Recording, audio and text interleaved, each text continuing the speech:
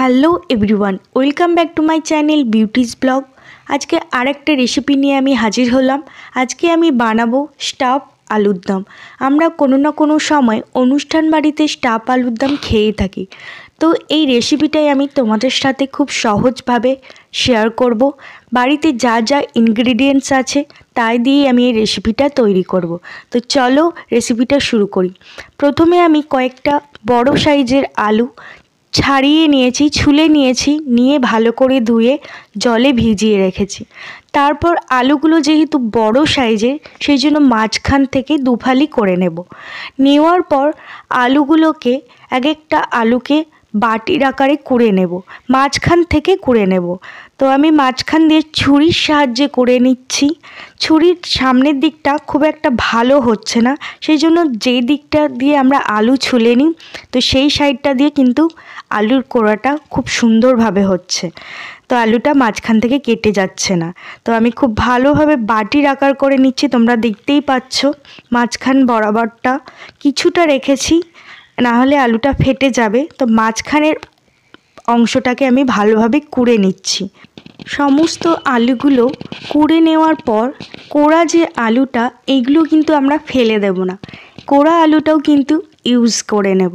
তো আমাদের কোনো কিছুই নষ্ট হচ্ছে না। তো সেটা কীভাবে ইউজ করব সেটা আমি আস্তে আস্তে তোমাদেরকে রান্নাটা এগোতে এগোতে বলব। তো দেখো খুব সুন্দরভাবে আমি সমস্ত আলুগুলোকে বাটির আকারে করে নিয়েছি।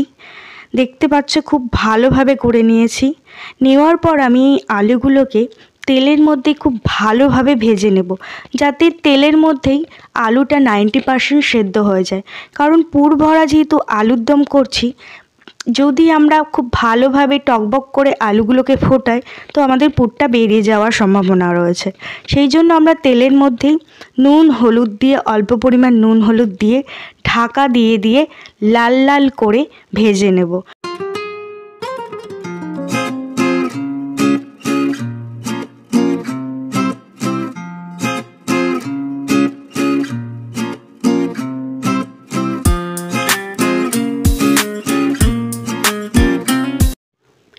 এখানে আলুটা আপাতত ভাজা হোক, আস্তে আস্তে করে ধিমি আছে। তো তার আগে আমরা যে মশলাটা দেব, সেটা আগে তৈরি করে নিই। চলো কি কি মশলা দেব, সেটা তোমাদেরকে আগে দেখিয়ে দিই। আমরা পুরো মশলাটা মিক্সিতেই করব। তো আমি এখানে একটা বড় সাইজের টমেটো নিয়েছি। তো টমেটোটা দিয়ে দিলাম, কেটেই দিয়েছি। দুটো কাঁচা লঙ্কা আর দশ বারোটার মতো কাজু বাদাম। আর দেব দু চামচ পোস্ত। তো এ আর কিছু দেব না। আদা আমার আগেই বাটা রয়েছে। এটা পুরো নিরামিষ হচ্ছে, কোনো পেঁয়াজ রসুন এতে পড়ছে না। তো দেখো, আলুটা খুব সুন্দরভাবে লাল লাল করে কিন্তু ভাজা হয়ে গেছে। ভেতর থেকে একদম অনেকটাই সেদ্ধ হয়ে গেছে। তো আমরা, আমাদেরকে বেশিটা আর ফোটাতে লাগবে না। তো আলুগুলোকে আমি তুলে নিচ্ছি। নিয়ে ওই ভা, কড়াতে যে তেলটা রয়েছে, ভাজা তেলের মধ্যেই আমি ফোড়ন দিয়ে দেবো। ফোড়ন হিসাবে দিলাম আমি এক ছোট চামচের জিরে। আর আমি এতে শুকনো লঙ্কা ফোড়ন দিচ্ছি না, তোমরা চাইলেও দিতে পারো। তো এই যে কোড়া আলুটা ছিল, সেটা আমি এখানে পুর হিসাবে ইউজ করব। তো কোড়া আলুটা ওই তেলের মধ্যেই দিলাম, অনেকটাই তেল রয়েছে, তোমরা একটু তেল কমিয়েও দিতে পারো। এই আলুটাকেও আমি খুব ভালোভাবে ঢাকা দিয়ে সেদ্ধ করে নেব। তোমরা চাইলে এমনি সেদ্ধ ভাপিয়েও নিতে পারো। তো আমি এখানে আর ভাপালাম না, তো আমি ভাজতে ভাজতে একদম সেদ্ধ করে নিলাম। এখানে আমি পনির ইউজ করছি না, আমার কাছে পনির নেই। সেই জন্য আমি ছানা ইউজ করছি। তো বাড়িতে অনেকটাই দুধ ছিল। সেই জন্য আমি দুধটাকে কাটিয়ে ছানা তৈরি করে নিয়েছি। তো খেতে যেহেতু ইচ্ছে করছে, তো বানাবোই স্টাফ আলুর দম। সেই জন্য আমি এখানে ছানা ইউজ করছি। ছানাটাকে খুব ভালোভাবে আলুর সাথে মিশিয়ে নেব। তোমরা এখানে পনিরটাকে গ্রেট করে দিতে পারো, কুড়িয়ে দিতে পারো। আর এখানে দিচ্ছি দু চামচ আদা বাটা। তো আদা বাটা দেবো, এতে বেশি, খুব বেশি মশলা দেব না আমি। জিরে দেব জিরে গুঁড়ো, লঙ্কা গুঁড়ো। আর তোমরা চাইলে একটু ধনে পা, ধনে গুঁড়োও দিতে পারো, তো আমি ধনে গুঁড়ো দিচ্ছি না, জিরে গুঁড়োটা দিচ্ছি। গরম মশলাও তোমরা দিতে পারো, আমি গরম মশলাটাও এখন অ্যাড করছি না। আর দিচ্ছি ফ্রেশ ধনে পাতা। দিয়ে বেশ ভালোভাবে আমি পুরটাকে তৈরি করে নেব। তো তৈরি আমার হয়ে গেছে, আমি পুরটাকে ঢেলে নিচ্ছি। নেওয়ার পর কড়াতে আমি তেল দিয়ে দিলাম, সর্ষের তেলেই পুরোটা হচ্ছি। দুটো তেজপাতা, একটা শুকনো লঙ্কা আর গোটা জিরে ফোড়ন দেব। আর দেব গোটা গরম মশলা। আমি এখানে দিচ্ছি দারচিনি, এলাচ আর লবঙ্গ। পরিমাণটা খুবই কম দিচ্ছি। আমার গরম মশলাটা খুব একটা বেশি পছন্দ হয় না। তো একটু ফ্লেভারের জন্য দিয়েছি।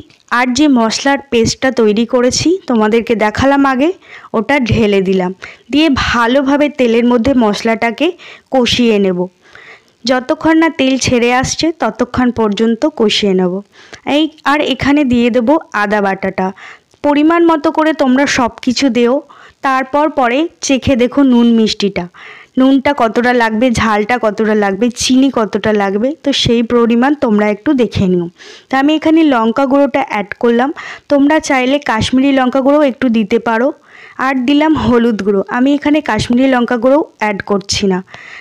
হলুদ গুঁড়ো, ধনে গুঁড়ো, জিরে গুঁড়ো, পুরোটাই সব মশলা দিয়ে দিলাম। দিয়ে ভালোভাবে কষিয়ে নেব। কষাতে কষাতে মশলাটা যাতে তলায় না লেগে যায়, এই জন্য একটুখানি মশলা দেওয়ার জলটা দিয়ে দিয়ে কষাবো ভালোভাবে। তো এখানে মশলাটা একদম ধিমি আছে, কষতে থাকুক। তার আগে আমি আলুগুলোর ভেতরে পুরটা ভরে নিই। চামচের আকারে আমি প্রত্যেকটাতে পুর ভরে নিচ্ছি। তোমাদের যদি আলুর এই পুরটা ছানা দিয়ে তৈরি করতে গেলে যদি একটু পাতলা পাতলা মনে হয় বা পনিরেরও যদি পাতলা পাতলা মনে হয়, তোমরা একটুখানি বেসনকে রোস্ট করে এর পুরটার মধ্যে দিয়ে দিতে পারো, দিয়ে কষিয়ে নিতে পারো। একটু অল্প পরিমাণ বেসনও দিতে পারো, তাতে কোনো টেস্ট নষ্ট হবে না, টেস্টটা একই থাকবে। তো প্রত্যেকটা আলুর মধ্যে আমি পুর ভরে নিচ্ছি খুব ভালোভাবে।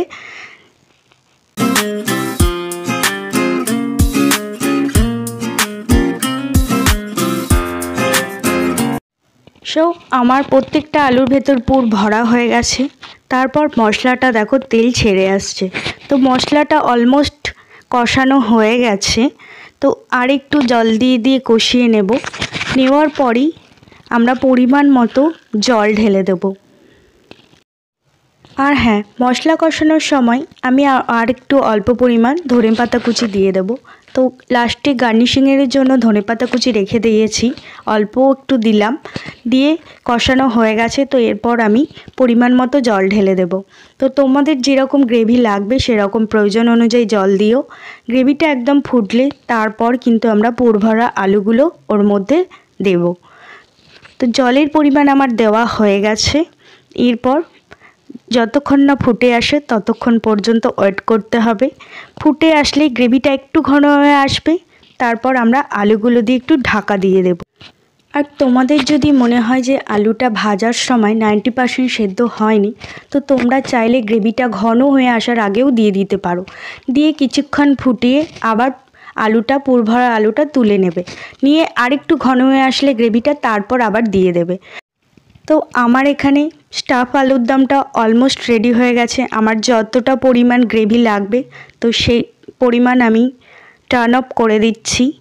তো লাস্ট ফিনিশিংয়ে আমি ধনে পাতা কুচি দিয়ে দেব, এরপর অল্প পরিমাণ কসৌরি মেথি দেব।